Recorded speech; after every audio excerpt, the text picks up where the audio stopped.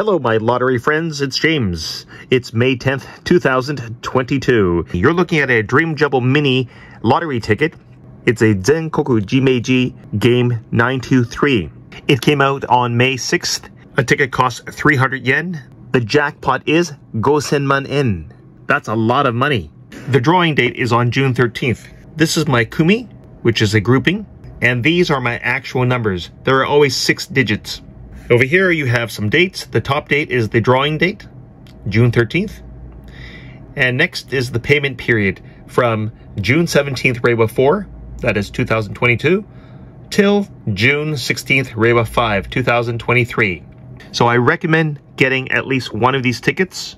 Let's say someone you know buys a ticket and wins the jackpot or the second prize, and you didn't. Well, you're left in the dust, crying, so, so that's my thinking.